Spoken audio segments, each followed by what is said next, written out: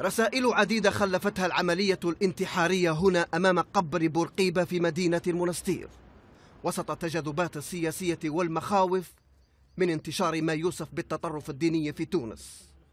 أيمن السعدي شاب لم يبلغ بعد الثامنة عشر من العمر.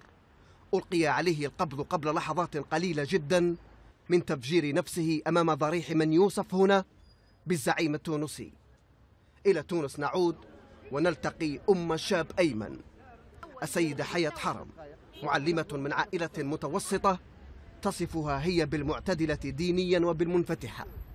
تحمل حقيبتها في يد وتتوجه بخطوات مثقلة لتحريك دفاع عن ابنها الذي تصفه بالضحية. فجأة ولدي وقع له التغيير عام 2012 في في ال rentrée scolaire في العودة المدرسية.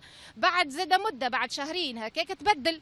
بدا مواظب عسلات وأكثر من الصلاه ولا يحب يلبس اللباس معناها القميص ويحب اللحية وكذا. أيمن السعدي كانت تتمنى أمه أن تحتفل معه في السادس من الشهر الجاري بعيد ميلاده الثامن عشر تقول إن تحركاته منذ حوالي سنتين بدأت تثير الريبه خاصة عندما قرر التوجه إلى القتال في سوريا قبل أن يقبض عليه الأمن ويعيده إلى اسرته ونقولوا الجهاد راهو الجهاد النفس راهو الجهاد بالعلم راهو كلنا قاعدين نجاهدوا رانا من مواقعنا كل واحد من موقعه اللي في خدمته يجاهد اللي في قرايته واللي في عمل. معناها فهمت؟ يعني نحكي له بكل شيء.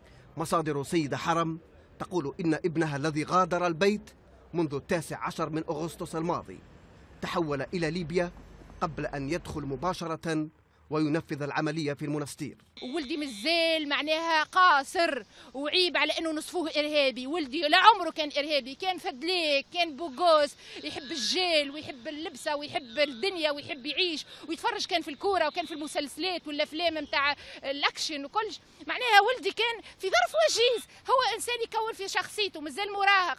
تتساءل مرة أخرى كيف لابنها أن يغادر البلاد؟ بعدما أصدرت السلطات في حقه قرارا بمنعه من السفر لكنها تعود وتعتبر أن تغير ابنها سببه تأثير جماعات متطرفة. جعلت منه مشروع انتحاري بعدما كانت أمه ترى فيه مشروع رجل علم وهي المعلمة التي تربي الأجيال. أمين حميدي موفد العربية تونس.